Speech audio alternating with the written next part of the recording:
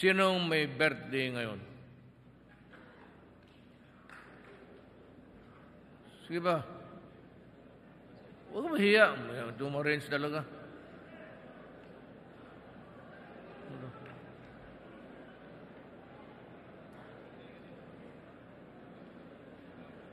Sino pa dito?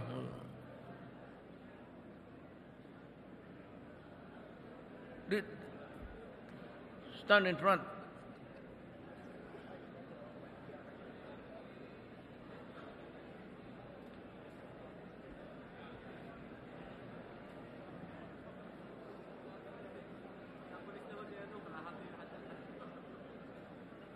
Sigurado, narinig ninyo, January na ngayon ha, hindi December.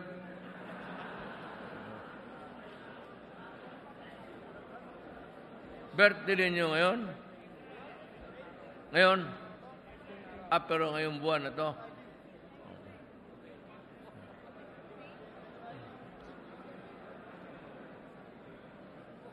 Today lang, sir. Sir, today lang, sir, or January? Today lang, sir. Bilangin mo. Today lang, sir. Ngayong araw lang, sir. Yung, ito, ito yung may araw na ito. Pero yung...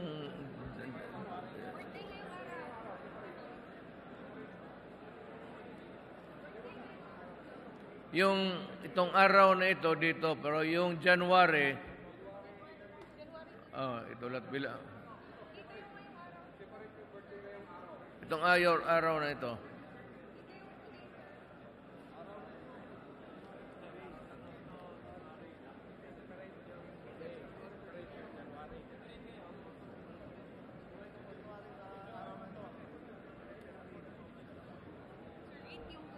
Bakit yung birth, nag-birthday ngayon, mga gwapo, yung kayo hindi masyado? 8 yung today ngayon. Ang mag-birthday ngayon, sir. 8, sir. Okay, uh, I'm going to give you putang, ibigay din sa pamilya ninyo, ha? Sa asawa. Ito para sa birthday ninyo, pero itong pera na ito, hindi ito pang inom. Hindi ito pang, su- eh, bantay kayo sa akin. Suntukin ko kayo. Ibigay, ibigay talaga ninyo sa asawa ninyo. Okay? Ah, pati dito, ilan, wala na, lahat na, January na. God damn it, make a count. And I will, uh, 50,000 rin. Uh, si Senator Bongo, marami Ako tanan tagaan mo na birthday na lang og uh, 3 million uh, relo tanan sila. Wala man ni sila relo. Kung eh, Tanan sila. Nag-andam na lang anay 3,000 plus relo. Each na yung birthday ko lang. Daghan man sila. oh, yung birthday ngayon, Lahat kaya na to. sina? Yes, sir. Pero, ihambol yung 50,000. I'll give you 50,000 each. Eh, ito, ibigay ko lang sa inyo para may mandala kayo. Birthday gift ko sa inyo.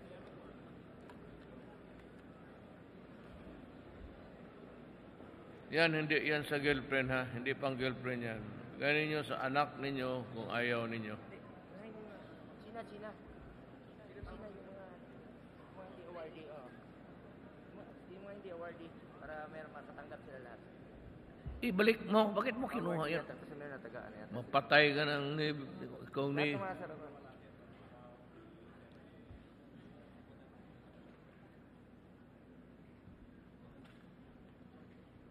Advance lang yan, advance.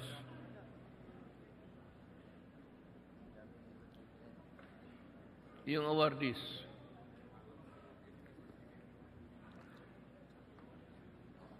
Okay, ganito na lang.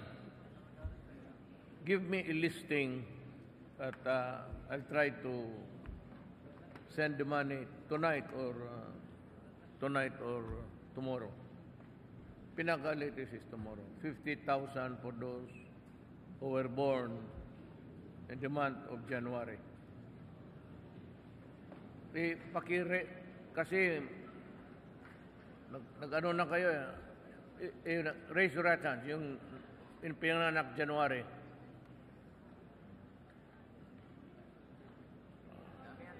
Count? Ah. Count mo na lang para kuha ng lista. Si Mark na lang kaya para malaman natin. You, raise your right hands. Para i- i-count ni Mark. Wala itong speech-speech. Ah, sige kay ganyan. Buta, wala. Wala yan. Speech-speech na yan. I-gift-gift na lang natin. Subuti pa. I'll send you the 50,000 by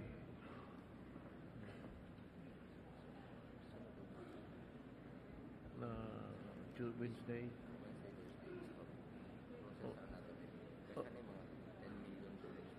Okay. Okay. The latest be Wednesday. Wednesday.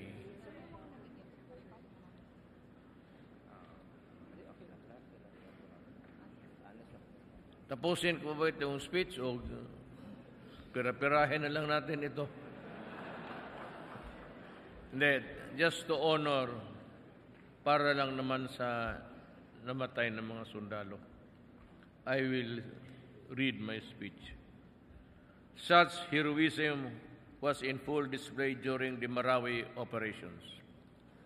The 103 officers and 1,800 enlisted personnel who joined our all-out offensive against the enemy successfully regained the Mapandi, Bangolo, and Mashu bridges and recovered more than 80 million pesos of cash and checks. It does be, be mali ito. It does that we confer the order of Lapu-Lapu with the rank of Kampilan and Kamagi to valiant soldiers of liberating Marawi from the lawless elements. I hope that this honor, all of you will be inspired to continue to embody strength, fortitude, and resilience, and ensuring lasting peace in our homeland. Once again, I salute you.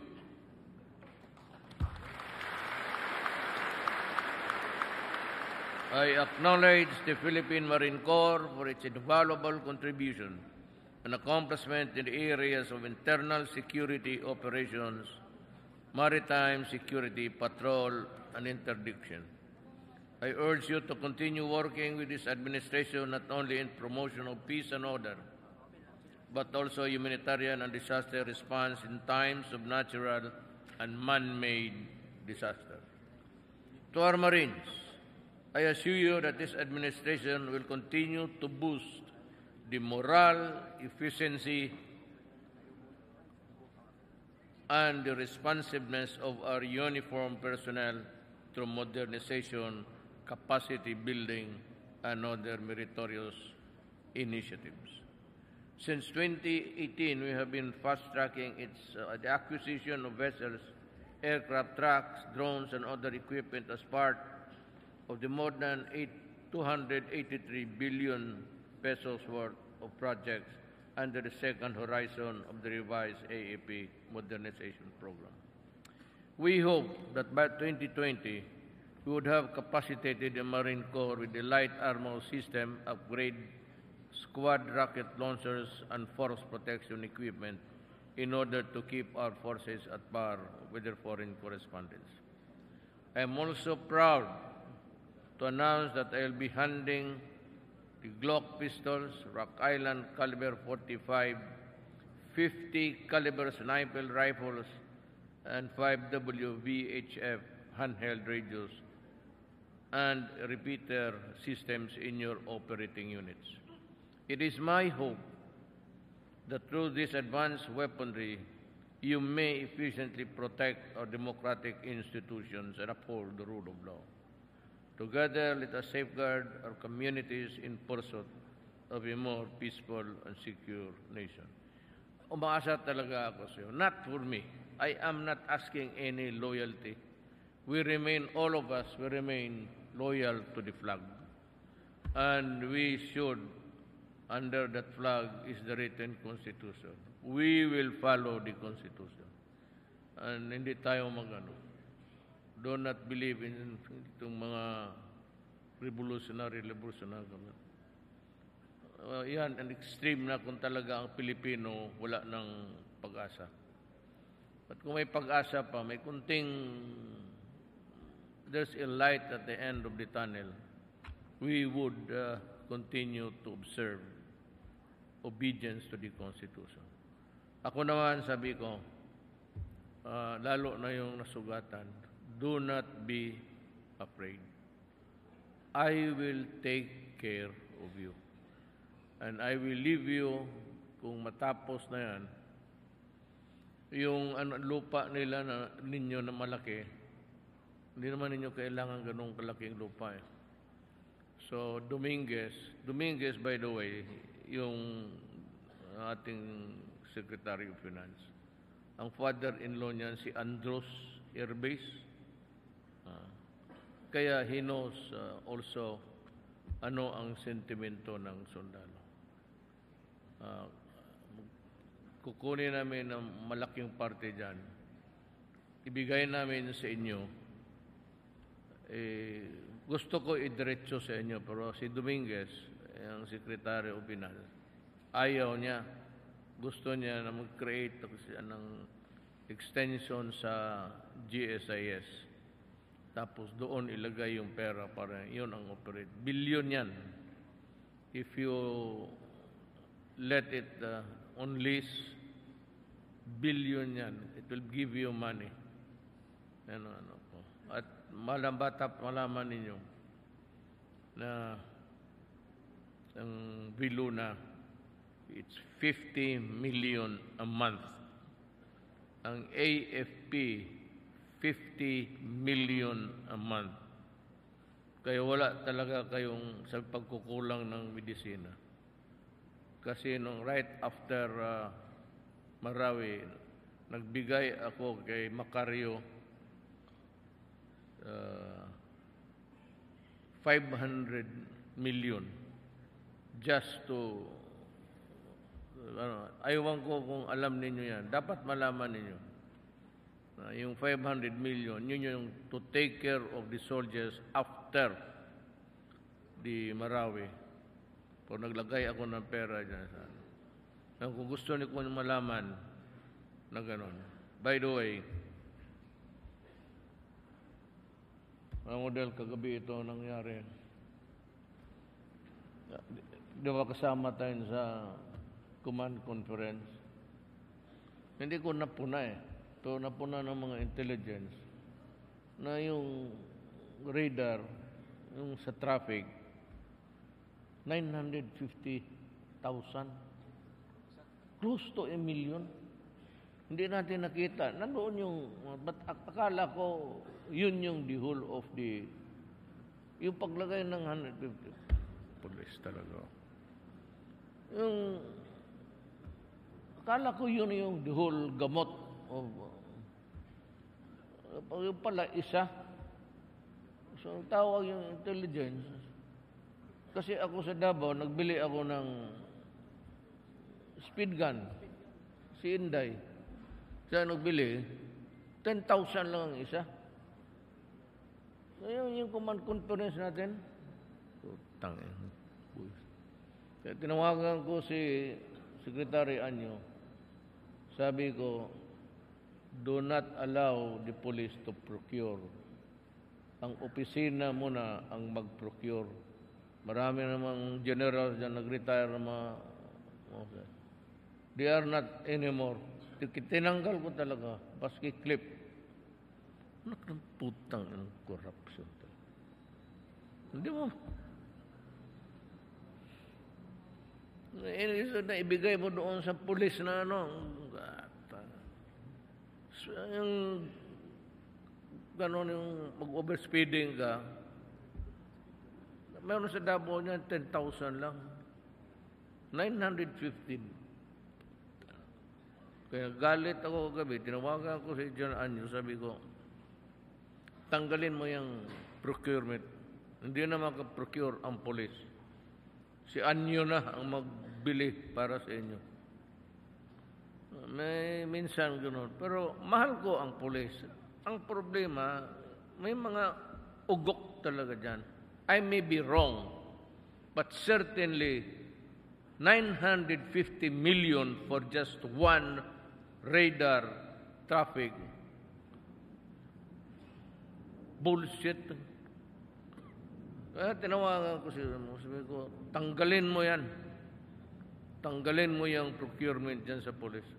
Hindi na, hindi na sila makabili baski clip. Yung, ako, baski anong hingiin ninyo, basta legal lang, ibibigay ko. Walang problema yan. Yung hiningi lahat ni uh, Secretary Lorenzana para sa iyo. You, you know, Secretary Lorenzana was just uh, Colonel ka? Uh, light Colonel ka? Si, matagal ko na itong kilala si Delpino. Bin, siya yung dala ng Scout Ranger sa Sigan Regiment sa Davao. Tagal na kaming kilala. Kaya nung nasa Amerika siya, nag-retire na, sabi ko, bumalik ka dito. Wala, wala kayong problema sa akin. If it's legal, there is really no problem at all.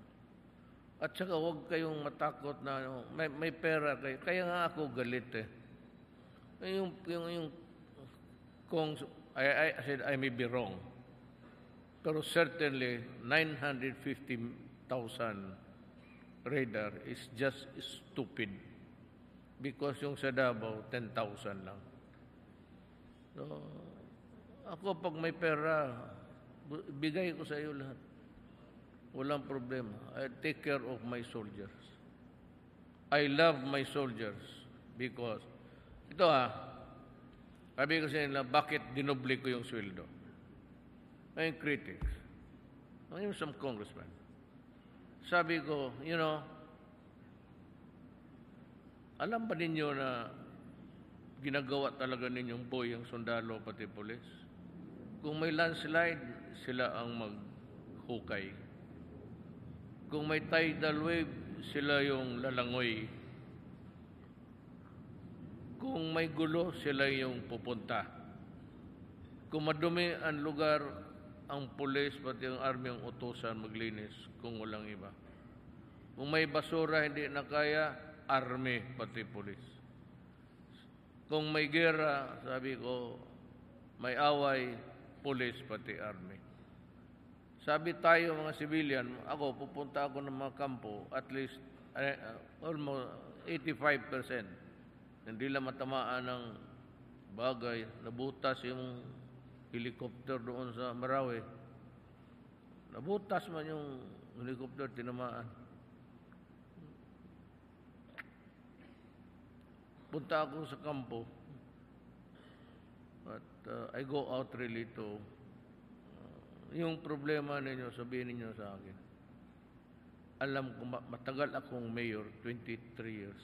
I, I know how to handle hindi naman, I'm not expert, but I know how to, kaya lahat yan sila dumaan ng Mindanao. At lahat ng mm, si Morente of Immigration, si Goy, sa drugs, Aquino, dumaan lahat niya sa Davao. And, sorry na lang, sila rin yung kilala ko. eh. Pero, huwag kayong magano. Ang relasyon ko sa inyo personal. Hindi man ako military. When you can come to me, then, huwag yung mag, uh, huwag kayong mag, magdalawang isip. If you think that you have a problem, ayaw ko lang sabihin. May mga su, su, ayaw kong sabihin kasi sabihin ninyo nagpapahiro ako. Pagka may problema kayo, na yung isang sundalo pumunta doon, kasawa, umiiyak kasi yung bata kailangan ng liver transplant. Eh, sabi nila sa India daw, yun lang ang gumagawa ng liver transplant. So, sabi ko, sige. Uh, sige bong, i-arrange mo sa embassy natin.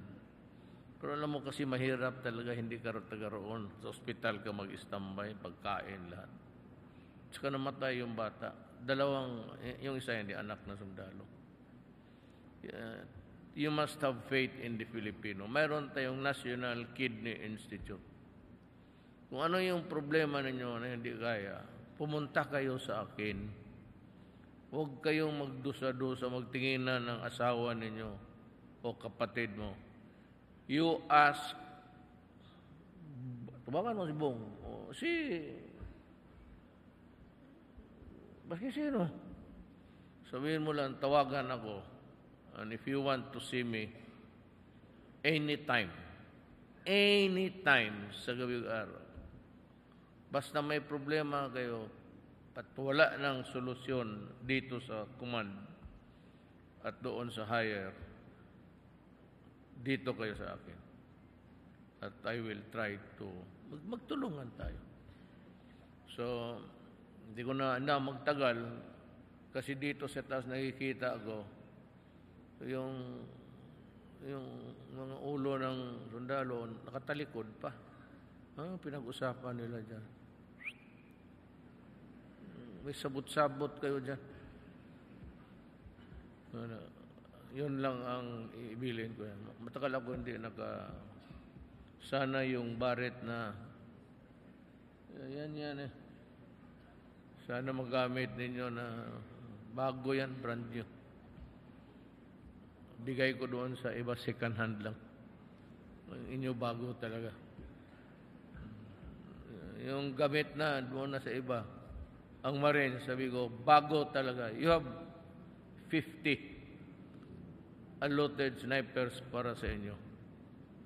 Patayin ninyo ang kalaban pag nasa crosshair na target mo yung puso pati ulo kasi kayo talagang papatayin ka ng mga walang hiya na yan. Mag-ambos pa. So, pag nadyan yan sa crosshair, siguraduhan mo. Yan ang trabaho natin. Enemies of the state, you kill them. That's my order. Buhayin mo yan. Sihatid mo doon sa kampo. Pakainin mo. Tapos pagdating sa korte, i-dismiss yung kaso. Putang yan. Kaya yan ang trabaho niyan. Yun lang kung makipag-away. Kung naman ang tao nakasurrender, nakadupa ng ka, hindi ka naman lalaki kung o naka, nakaluhod yan tapos oh. we do not do that. We do not do that. Ang sundalo ko, ang marine ko, dissented tao.